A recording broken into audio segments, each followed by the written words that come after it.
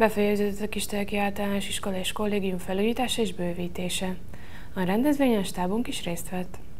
Befejeződött a Kistelki Általános Iskola és Kollégium infrastruktúrális fejlesztése, az épületrész kialakítása mellett megújult az iskola két régi szárnya is. A Szegedi Tankerületi Központ fenntartásában lévő Kistelki Általános Iskola és Kollégiumot a Széchenyi 2020 programban 790,33 millió forint visszanemtérítendő támogatásból újították meg, a minőségi oktatás feltételének megteremtése és hátránykompenzáció Kistelki Általános Iskolában című projekt segítségével. A rendezvényen Nagy Sándor polgármester köszöntötte a résztvevőket és összegezte a beruházást. Tisztelt miniszter helyettes úr,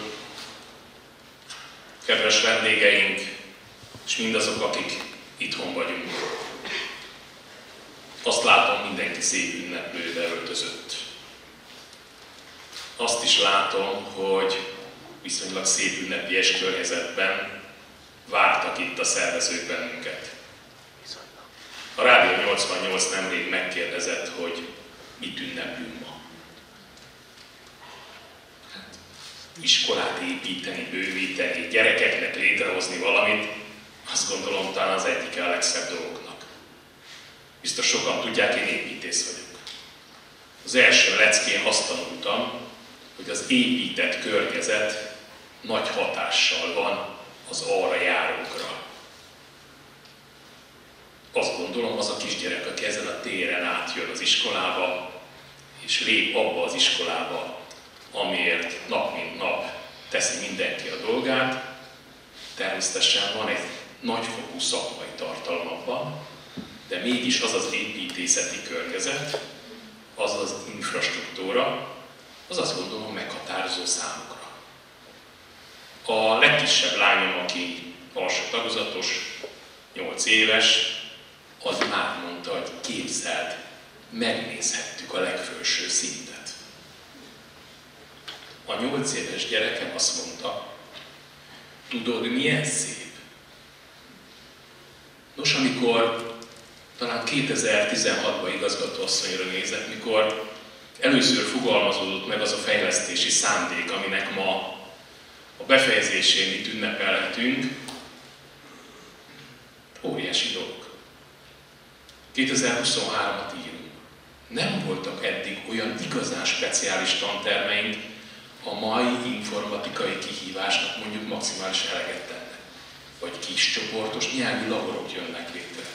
Vagy egyáltalán egy olyan környezet, olyan építészeti környezet, ahol katikáikra nézek, most már a szakszolgálat is egyébként helyben, nem átvíve a gyereket egy másik épületben, és azt gondolom, a szakmaiságnak minden követelményét kielégítő új létesítmény jön létre.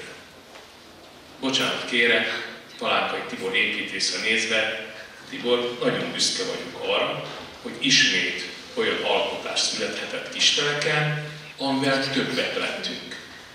És, és persze ilyenkor hozhattam volna egy tágas füzetkét, amiben mindenkinek meg szeretném köszönni azt, hogy ebbe partner volt, segítségünkre szolgált, és idézelve egy a mai világban különösen fölértékelhető, sikeres pályázatot hajtottunk végre. Tudjuk azt, hogy kiegészítő forrás kellett a végén hozzá, mert az építőanyagárak, a munkabérek, stb. stb. De mégis nagyon szépen köszönöm miniszter helyettes úrnak, hogy abban a kiegészítő támogatásban és abban, hogy egyébként erre elég forrás legyen, az egyébként. Úgyhogy a köszönet az mindenki. Különösen kedves igazgatónő a tiétek. Tiétek pedagógusoké, akiknek tudom sokszor úgy kellett dolgozni, hogy valamit übörgött, valamit pontottak, valamit építettek, nem a megszokott csapásokon tudtatok menni, és valószínűleg néha zavart is egy picit benneteket. De köszönöm, remélem ez megérte, és félreértés ne essék Klebensberg intézet dolgozóival, akivel azt gondolom példaértékű, mint igazgatóasszonya, mint pedig a kollégákkal a kapcsolat.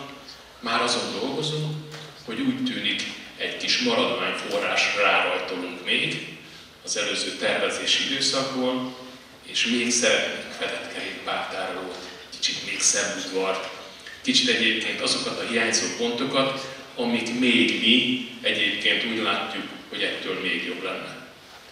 A mi gyerekeink nemzetközi méretű sportcsarnokban sportolhatnak. A mi gyerekeink minden héten uszodában vannak testnevelés volt keretén belül. És a mi gyerekeink szerintem egy nagyon szép iskolába járnak.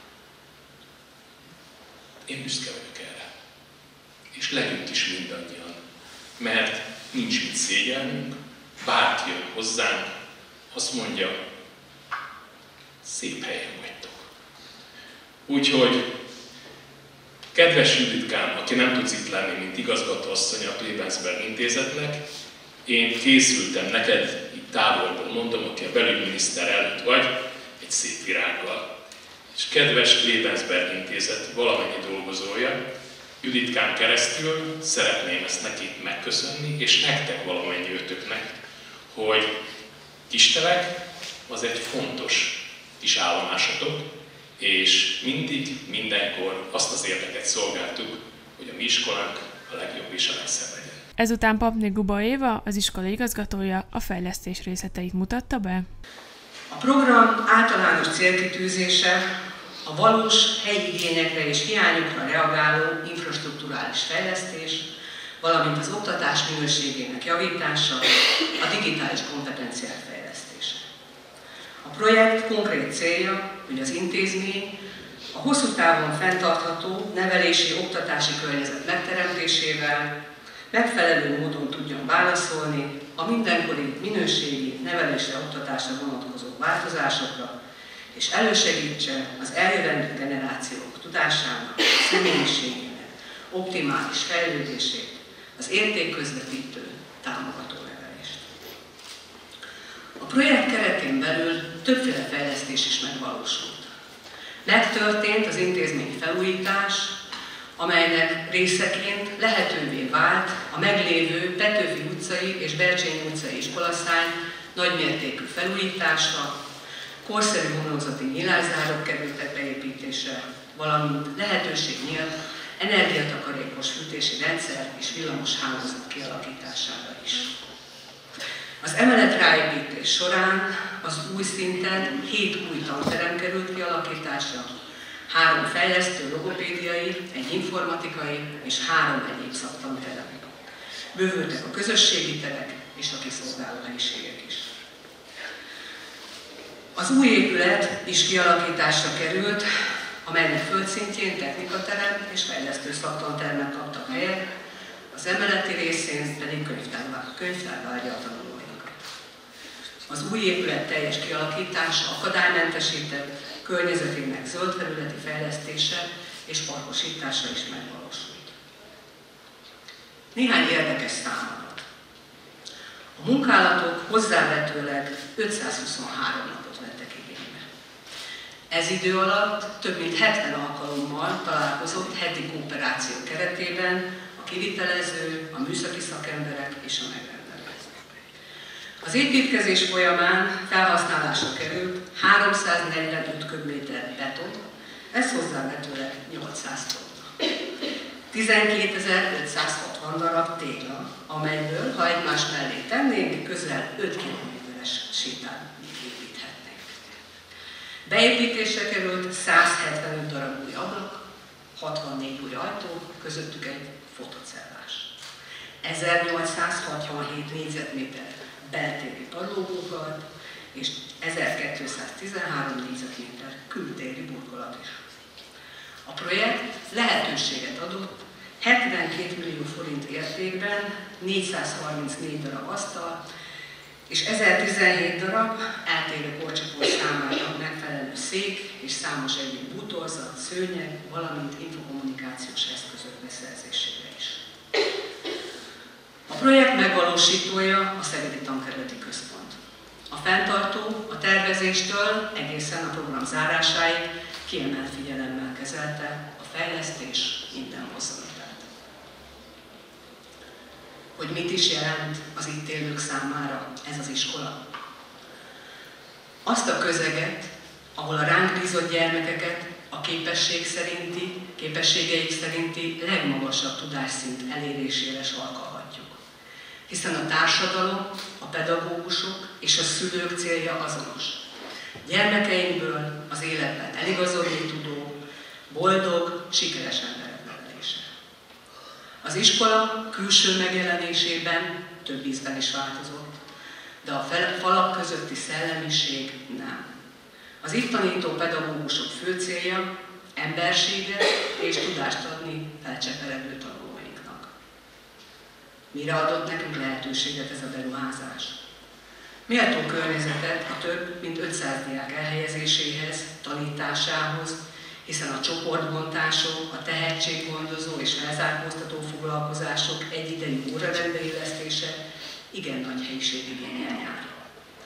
Olyan korszerű és használható tudással kell felvérteznünk tanulóinkat, amelyek segítségével egész életük során képesek lesznek az új ismeretek elsajátítására. Ehhez járunk hozzá a meglévő épületrészek felújítása, korszerűsítése és a beszerzésre kerülő bútorok, fejlesztők és IKT eszközök is. Hálás szívvel köszönöm a Kisteleki Általános Iskola és Kollégium közössége nevében a fejlődés lehetőségét.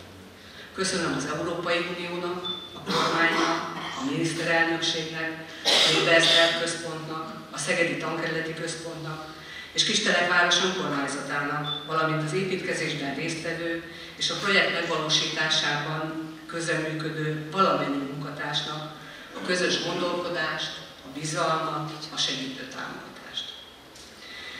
Elismeréssel szólok arról a toleranciáról is, melyet iskolánk pedagógusai, tanulói és szülői társadalma tanúsított a felújítással járó kellemetlenségek. Ígérem, hogy megszolgálva a bizalmat, a jövőben is különös figyelmet fordítunk diákjaink képességének kibontakoztatására, tehetséggondozásokra. Hiszen a pályázatunk azonosítója is ez, Szent Györgyi Albert szavaival élve, olyan lesz a jövő, amilyen a ma iskola. Az átadón a jelenlegi és a már elballagott általános iskolás diákok műsora következett. A Bábabok Rendnéptánc együttes lépett színpadra, a diákok pedig az iskola életét mutatták be, valamint a Valahol Európában című musical egyik dalával készültek. Majd Farkas Sándor, Agrárminisztérium miniszterhelyettese, országgyűlési képviselő folytatta. Beszéde után pedig átadta az iskola jelképes kulcsát a diákoknak. Annyi szép dolog elhangzott ma már az iskolának a helyzetéről, jövőjéről, de azért én mégis talán azt szeretném kiemelni, hogy van egy település, nem is Csongorát, Csanád vármegyébe, Szegedtől 21 néhány kilométer északra, és ez a település az, ami számomra, és ez nem udvariasság, már is szeretném mondani. Őszinte szívemben mondom, egy olyan település, amit kistereknek hívnak, kisváros, ami példaértékű fejlődésnek a részese, aktív szereplője. Amikor bejön az ember a településre, a polgármester is úr is mondta, hogy szépnek tartják a települést, ez természetes már szinte nekünk, akik elég sűrűn, nekem is, akik elég sűrűn járok, járunk kistelekre, de mégis azt kell mondani, hogy a településnek van egy olyan fantasztikus ö, ö, hogy mondjam, hangulata, egy olyan klímája, nem is földrajzilag kell ezt érteni, ami meghatározó. És ebben óriási szerepe van annak a közösségnek, akik képezik Kisteletnek a vezetését, lakosságát, akikkel együtt tud működni a város vezetése. És ebben van egy még mondhatnám fontosabb helyszín, ez pedig itt, ahol ma itt vagyunk, nagyszerű objektum, és nem utolsó sorban természetesen iskola. Ez az iskola, ez egy égköve a településnek. Ez az iskola ezzel a fejlesztéssel, amit elértek és meg tudtak valósítani, amihez gratulálni szeretnék, ez mind azt mutatja, hogy mennyire bíznak a településnek a jövőjében. Ugye ezek mindig ilyen nagy szavaknak hangoznak el, de azt mondom én is, hogy tehát a fiatalokkal foglalkozunk, gyerekekkel, és szükség van az iskola bővítésre, az csak szép és jó dolog lehet, mert a településen szeretnek élni az emberek, szeretnek családot alapítani, gyermekeket nevelni, és ez megvannak a feltételek, megvannak ezek a a csodálatos lehetőségek. Nekem van összehasonlítási alapom más településekkel, de talán még az is merem mondani, hogy külfölddel kapcsolatban is. Sajnos az egyik lányom Hollandiába él, és ott elég jól ismerem a rajta keresztül az ottani viszonyokat. Higgyék el, ilyen csodálatos létesítmény, mint akár ez az iskola is, vagy ez a közösség is. Nem igen van a világon. Ezt tudom, hogy a helybeliek másképp, én is más, biztos másképp értékeljük. De mégis azt mondom, hogy ez a, össze, ezzel az összefogással, együttműködéssel, ez a kialakult új, nagyszerű iskolaszárny és önmagában az iskola mind arról, arról a tanúbizonyságot, hogy az emberek, az itt élő emberek megbecsülik a pedagógusokat. Végül az intézmény egyik diákja egy verset adott elő, majd egy közös produkcióval zárult az átadó. Levendula napokat tartottak Kisteleken. Vas Rozáliát kérdeztük a rendezvényről, és a következő Levendula nap dátumáról. Levendula napokat tartanak a mai napon is, a jövő hét folyamán is a Levendula Tündér tanyáján. Ezzel kapcsolatosan kérdezzük Vas Rozáliát. Köszöntelek, beszéljünk egy kicsit ezekről a napokról, ugye már pár éve megrendezitek ezeket. Szeretettel köszöntök én is mindenkit, benneteket is itt a Levendula Tündér tanyáján. Az idén harmadszorra tartunk ilyen levendula napokat.